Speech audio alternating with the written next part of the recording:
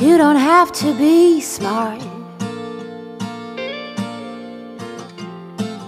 No need to dress up for me to see that you're a good man.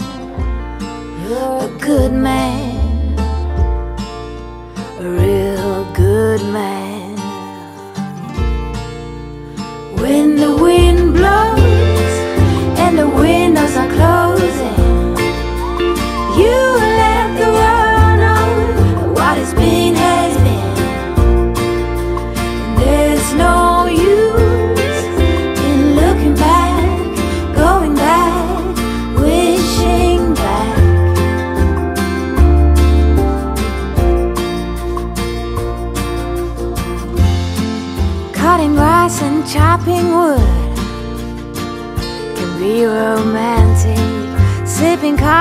Under the apple tree is gentlemanly.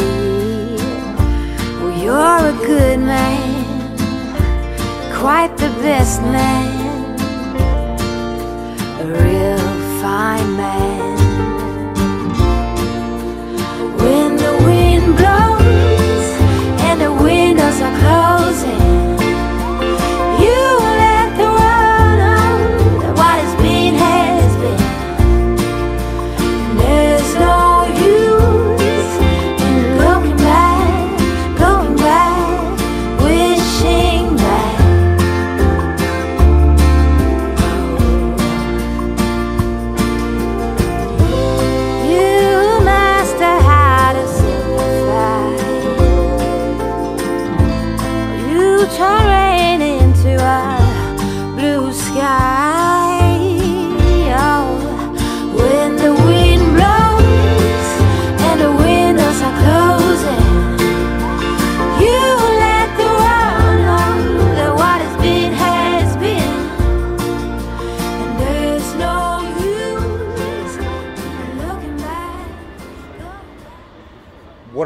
do with this piece was to literally just let pure emotion ride on the canvas. I, I wanted to look at a very special piece of music. Elgar wrote his fifth um, cello concerto, and it's one of the most beautiful pieces of music you'll ever hear. It's harrowing, it's um, uplifting, it's reflective, it's sad, it's beautiful, it's electric, it's um, it's extraordinary, and it takes you on this journey of inward and outward expression. And that piece of music was then played um, by Jacqueline du Pré very famously on her cello. And she was an extraordinary woman in that with this piece of wood and a bow and a few strings attached to this piece of wood, she was able to do something, it's very hard to explain, but do something so magical and go to a place both inwardly looking into herself, but then also outwardly expressing something that, that you, you just, doesn't happen very often. And that's what I find really quite inspiring. What I'm trying to do is disengage the mind. But that sort of explosion of emotion, where I'm deep in the subconscious, will always happen on the floor. Sometimes, not always, I will, if I feel I want to enter this piece in a different way, a different angle, and get another layer on it that's, that has a slight juxtaposition, because I feel that's, that's what, what it needs and what could elevate it to another place, then I will mount it on the wall, which I am thinking of doing with this piece actually. Um, and I will sort of step back at it from another angle and then come into it again. And it can often create this really interesting other layer that is slightly off center. And then I might put it back on the floor again, which is probably where I'll go with this, who knows, but thinking that's where I'll, I'll be going. Um, so you'll sort of have that layer, and then you'll do that with it on the wall, and then that final layer of will be right off here, but we'll bring it all together. In, in the same way that a cellist or a violinist does it with a piece of wood and a bow, I wanted to do that with paint, which is what my work's all about really. It's that what else is the point of painting? What else is the point of being an artist? What else is the point, really? Other than to tap into your emotions and, and find something really magical um, that can take you to another dimension. So in the same way that she did it with wood and, and a bow, um, I, I want to do it with, with brush and this sort of substance that has colour in it. So it's a very similar thing. My bow is, is my brush, and my piece of wood is my canvas, and the strings the paint.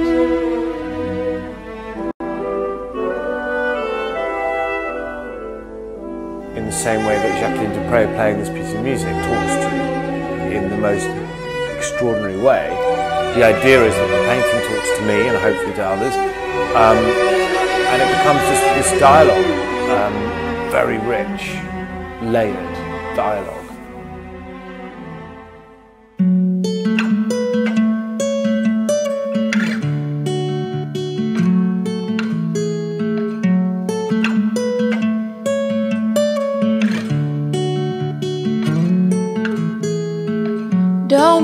A stranger in the night.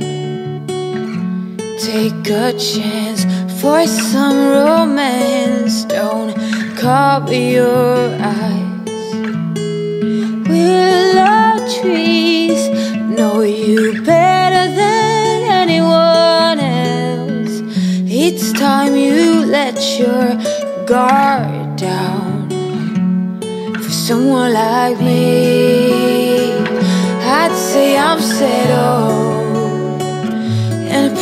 Pretty calm. I don't storm in the storm.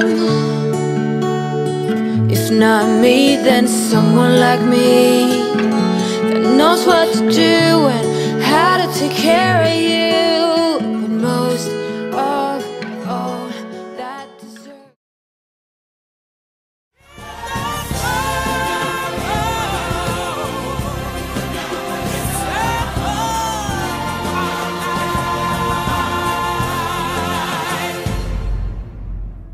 I'm Sacha Jafri, painter.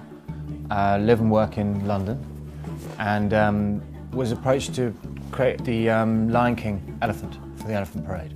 The Elephant Parade is something that was set up in Holland originally, and it's similar to the other parades of which you've had things like the Cow Parade, um, various other ones around the world, and this is an aid set up by the Elephant Family charity in England to save the Indian elephant. Disney's always been a big part of my life. Jungle Book, Lion King, um, I mean, there's loads. And they're sort of very, very important to me, and they've been this big inspiration. I love the music, I love the whole escapism of it, but I also love the fact there's always this underlying message. And everyone can sort of dip into it in their own way, and it's like this magical world. And my, my work is linked to that, in that my work is based on magical realism. So my paintings aim to sort of represent reality, but in a magical way. The whole idea of the circle of life, the way the, the animals relate to each other, the way they go on a journey through life, all this, this sort of story, it, it does happen, it is reality, but it's this magical twist to it. And that's what brings it alive, that's what makes us alive inside. I looked through um, various books and, and the DVDs, and I was lucky enough to be taken backstage and see all the fabrics and shells and beadings that are incredibly elaborate. These things are all done to such a level that you don't notice them. It becomes this, this weave, this story, this magical world that you can lose yourself in. And that's what I wanted to do with the elephant. I wanted to sort of touch on all those different stage moments, these sort of birds flying and then um, the stampede, which is really clever. That's a really clever moment. And then sort of get all that across in the elephant, but, but also get across the story. The sketch itself took two weeks um, to sort of work out how that was all going to develop. Painting hours, I don't know, a minimum of 200 hours, but it's a real honour um, to do it, and I want to get it right. Um, and so it'll just keep building, and I'm very, very near completion now. So this elephant um, will be on display in Covent Garden from uh, the first week of May. There's close to 250, and then the 20 main elephants, of which this one is one, will be um, auctioned.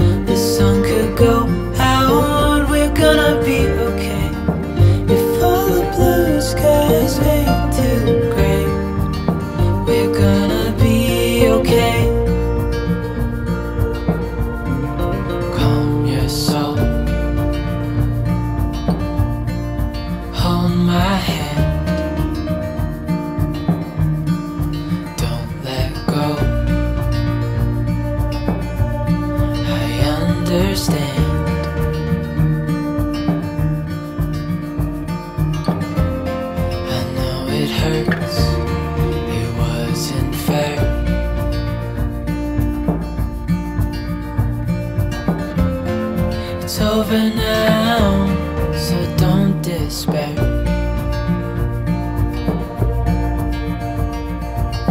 The world could fall down, it's gonna be okay.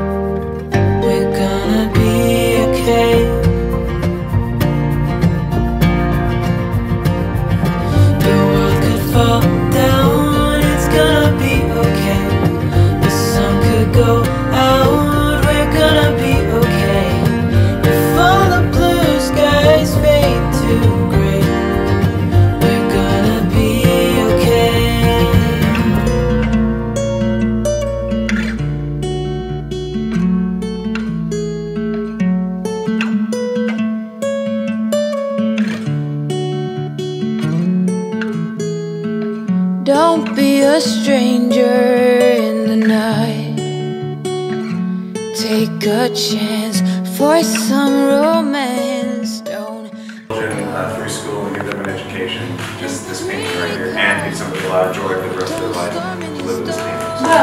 Thank you, buddy. Yeah. Someone like me that knows what to do and how to take care of you.